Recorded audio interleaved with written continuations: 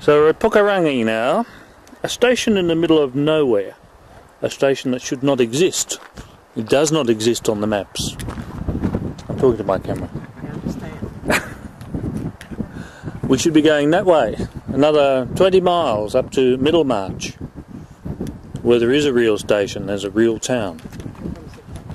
Here comes the train, puff puffs on its way. It has its light ble- gleaming